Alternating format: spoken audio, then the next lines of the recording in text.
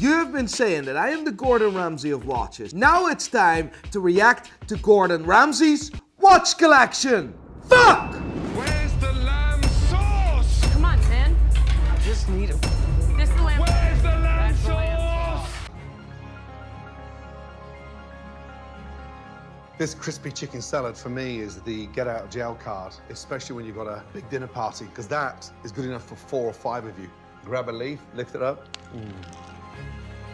That's a very, very nice watch. That's a Rolex. Fuck me. That is a Rolex Submariner. I thought Gordon was only wearing Breitlings, like these big fucking ugly yokes. That's a Rolex Submariner 1680. That's a cracker. These fucking sleeves do my head in. You know who you look like right now? Who? You know McLovin? Who's McLovin? Hello. It's the collar.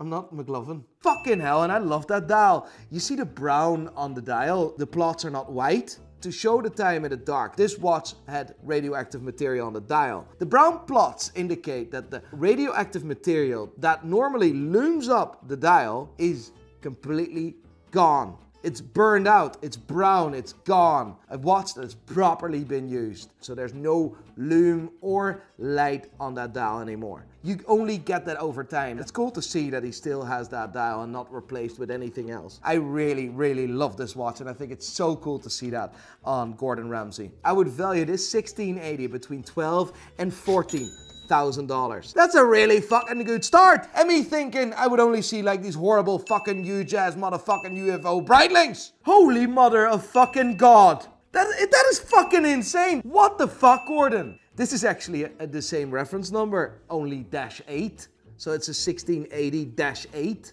You know that this is the first ever gold Submariner?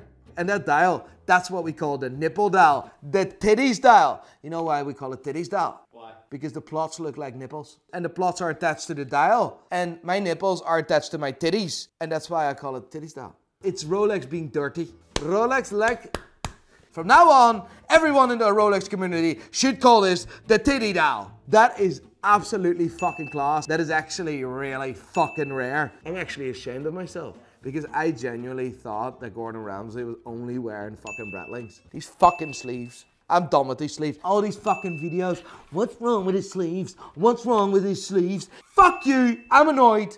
My sleeves are shit. I need to fucking find scissors. Fuck me. Fucking shite. Where the fuck are scissors in this place? No fucking scissors, mate. These fucking sleeves. Fuck! Fucking people always in my fucking sleeves.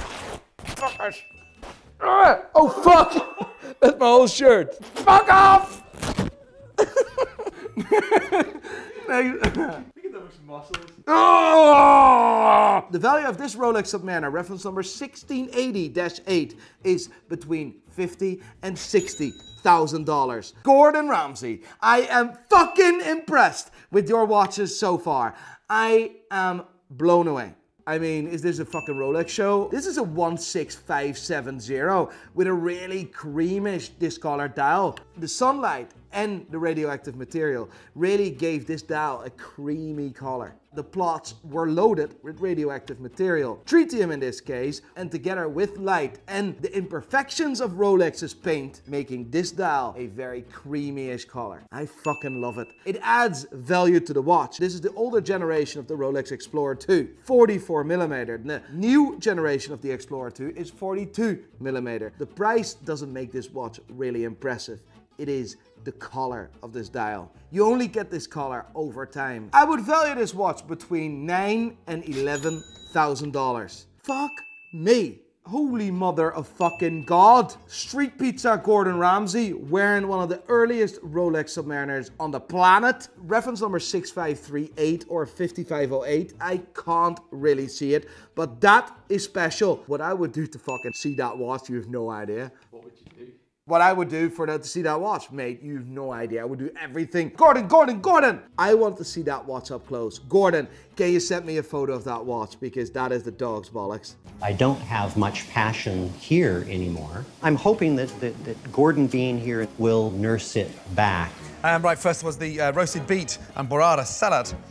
They've just been seasoned with a little touch of salt, pepper, and then finished in a little hazelnut vinaigrette. I love it when you get excited like that. It's you know, energy coming back. I absolutely love it. Are you okay, Brian?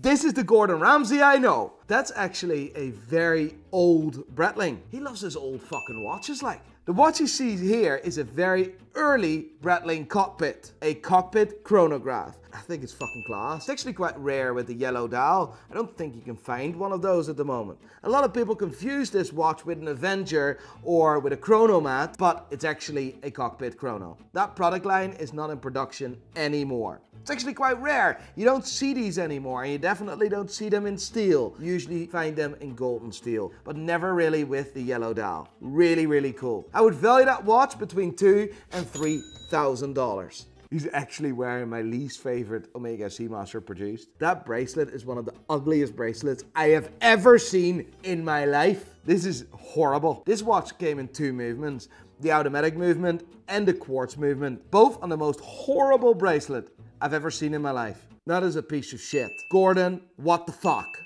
He has the most insane fucking Rolexes. Really, really specific and important watches. And then all of a sudden he has this piece of shit. You know Gordon has a TikTok? He has TikTok. Was on my shoes, so don't get geeked up. Bitch is a Lisa. He reacts to people's cooking skills. The same as I react to watches. You want to treat yourself? Rib cap. Rib cap. steak. Come on, big boy, that's my favorite First, cut. we're gonna salt it. Salt it. Jesus Christ. It looks like an episode of Narcos. How many followers? Does he have more followers than me? Yep. I have 600,000 followers on TikTok, mate. Gordon has 22.2 million followers. I thought I was like the bollocks like. Get the fuck, let's cook something. Joshua recently taught me how to make an egg, so I can. Fuck it, let's do it! This shirt is hanging in pieces, mate. At least I have no problems with my uh, sleeves anymore. Always say hi to Gilbert, very important. This is Gilbert. I have no idea how this works, but there's a thing on. It says do not place items on top of the cooker ring. This one is it working or? There's two things, and there's. You would think that would be logic, wouldn't it?